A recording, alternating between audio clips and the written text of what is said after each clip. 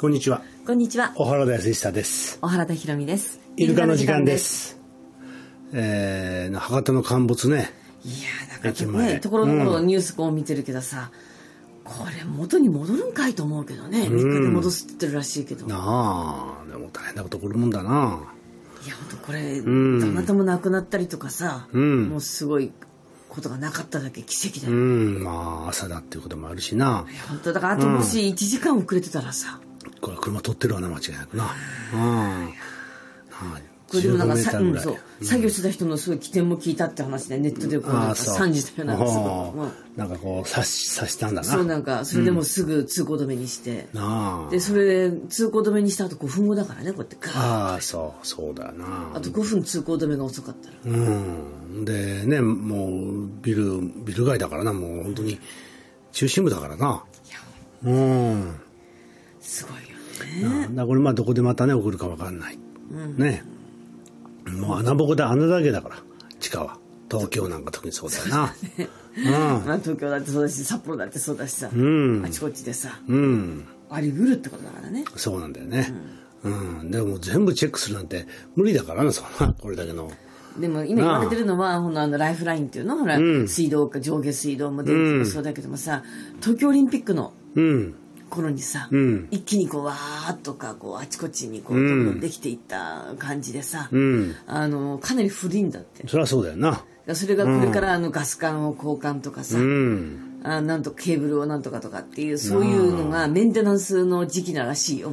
まあそうだよな。だからさ、まあ50年先とか100年先なんてさ、遠い先のことでまあいいやなんて思うけど、必ず来るからなそういう時期がな。うんうん。本当にあの、まあ、寝ないで工事してた人たちがいるんだろうからさ、うん。別の二次災害っていうかさ、ね意識朦朧としてさ ね理解しちゃうとかそういうことが本当ないようにだよね。うん、そういうことだよな。まあだから本当ね、えー何が起こるか分かんない。うん、これはまあ今に限ったことじゃないし、うん。昔からそうなんでね、だから先のことは分かんないっていうのがね、うんだから分かんないからいい加減でいいかって言うとそうじゃなくてさ、な分かんないからこそ、えー今大事にしていかないといけないっていうこともあるよな。うん本当にねいつかいつかってさいつかとお化けに会ったことないってさよく言ってん。だけどさ、いつかやろうと思ってることがさそのいつかが来ないかもしれないんだよ。そうだよね。もう大地震があるうんかもしれないし、そうそうそうそう。自分が病気になるかもしれないし、事故で巻き込まれるかもしれないし。そうなんだよね。じゃあいつかって言ってないでやっぱり今なんだよね、やろうと思ったことは全部今なんだよね。そうなんだよね。うん。うん、そう。まあ、だから今しか本当はないんだからね。そうなのうん、過去過去はもう消えてるし、どうしようもないしな。明日も明後日もね、5年後も10年後も20年後もあると思うからさのんきにさ、暮らしてるわけでさ、んでももし明日がないとするならば今日何をしますかってうん。そう。だから過去も未来も全部今に凝縮して生きるのが一番いいんだろうけどな。うん。常にベストを尽くしてねそうそうそうそう。本当にそれは大事なことだよ。でも人間ってぐうたらだからさ、常にベストとかさ言いながらさ、んなかなかそういう律したい生き方ってできないわけよ、うん。ストイックな。うん。そう。だストイックがいいってわけじゃないけどね。もちろんね。だから、うん。たいかに楽しく今に集中するか。そう。行動という時にね、そう。だからまあやっぱりこう満足していくっていうかさ。うん、あのー、100%は無理だけどね。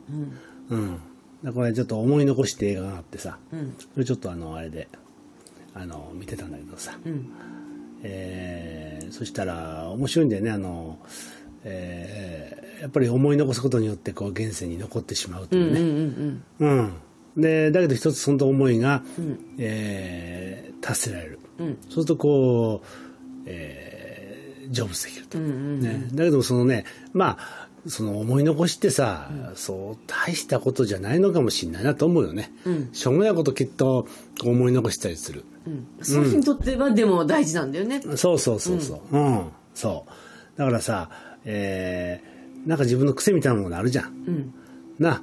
まあ例えば母親だったら子供のことが心配でやっぱり、えーそばにいてあげたいと思ってしまうわけだあちらに行けないってね、うん、何もできないんだよそばにいたって、うん。ただ見てるだけ、うん。そういうこともあるよね、でもそれはさあのいわゆる生きてる時でもそうじゃん、うん。例えば子供のねことが心配で。うん。そばにいてあげたいと思うけどそばにいたってさ、まあ例えば転ぶ時にこう起き上がらせるとかできるだろうけど、例えばこの陥没で落ちてしまったらもうどうしようもないわけだから。うん、だからどうしてもこといっぱいあるにもかかわらず、うーん、なんかこう、え、そばにいてあげたい、あるいはなんか手を貸してあげたい、そういうことをさ、考えがちなわけで。うん。でもまあこれはもう本当にどうしようもない。例えばキエが今ね世界一そうだよね。あいつが今本当に体調崩すとか、なんか、えー事件に巻き込まれるとかさ、なんかあったとしてもさ、どうしようもないから。自分もエネルギーを送るしかない。そうそうそうそう、そう。そういうことしかないよ。うん。エネルギーを送ってやってよ風邪ひいた喉が痛いっつって、うん。そう。で、まあそういうことないようにってちょっとね。ね、まあ祈りしかないしね。うん。だからそういうふうなことしかないのよ。どうしようもないっていうね、部分っていうのはさ、我々そういう中で生きてるから。うん。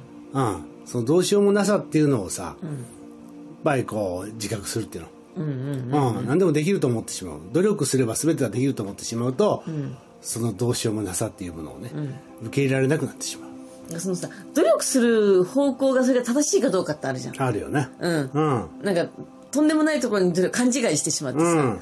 あの努力しなくてもいいところに努力をして大事なところを流してしまってる。そうそう。何が大事かってことに気づくことが大事なわけでしょ。だから頑張るってこともそうだよな、うん。だから本当に頑張ることはずっと素敵なことだし、感動的なことだけれども、どの方向に頑張っていくかっていうのはね、何を頑張るかっていうところがさ、やっぱずれてしまってるとさ、何を頑張るか、いつ頑張るかっていうこと今なのかさ。そう。実は今じゃなくていいことなのかとかさ、そうそう。だからそのしんしんどいばっかりだよね、うん。だからある意味じゃその頑張らないことを頑張ることも大事だったりするわけだよ。うん、そうそうそうそう。なそうこう流行る気持ちとか焦る気そうそう持ちとかをこううんずっ沈めと抑えてて今じゃないっていうこととかさ、うん。あのーだから何でもかんでもがむしゃらにさ、やればいいっていうもんじゃないし。そうだね、うん。いやだからねやっぱり賢い人はさ、賢いって言ったらちょっと言葉あれかな。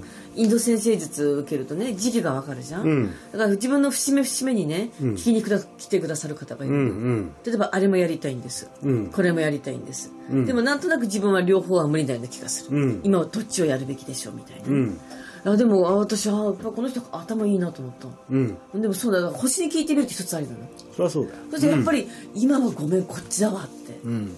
うん。そうだからね、やっぱりねまあ基本的にやっぱり人間欲張りなとこあるからね、あれもやりたいこれもやりたい、ね次々と手出して、そこで行き詰まってしまうっていう場合は、いっぱいあるわけよね、うん。だからその時にさやっぱり何かに集中する。これにしよう今回今年はとかさ、それぐらいの気持ちの方がいいかもしれない、逆にそれをやることによってそっちの方をもう一つ気になったところも一緒にうまくいくことってたくさんあるわけよ。そうそうそう。なんかそれを全く切り捨てることじゃないんだよね、そう。手助けが来たりとかさ、なんか次のこう道が開けてきたりとかさ、いろんなとこ起こるからね。だから、あの A ということをやるということはただ A を成し遂げるというだけじゃない。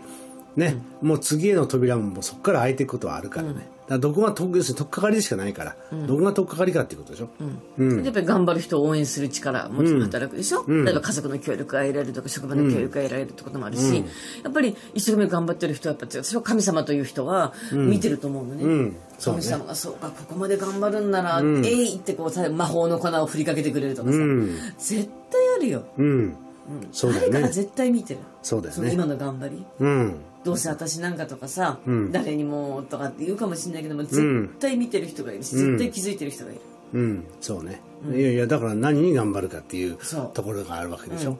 うん、そこじゃないところにもう歯を食いしばってもうすごい辛い思いして、これをやるんだっつってなんかすごい岩を動かそうとしてるとかってさ、うん。実はあなたとたあなたが戦うべきはその岩ではないんだわみたいな。そうそう。だからねあの中川先生が言ってたじゃん、車は横から押しても動かないよって、ね。やっぱりこうね押す方向があるわけだからさ。